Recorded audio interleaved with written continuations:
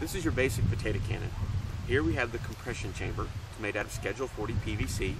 At the end I have a tire valve or Schroeder valve.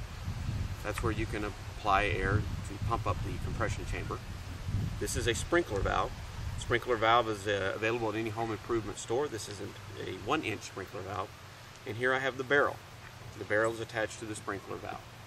The way the potato cannon works is you pump up the compression chamber. You can use a bicycle pump or a, a, other air source. After you've pumped it up to a certain pounds per square inch, you put a projectile in the barrel and then you apply a certain voltage which will open the valve and out goes your projectile. Pretty simple design, but how do we optimize it?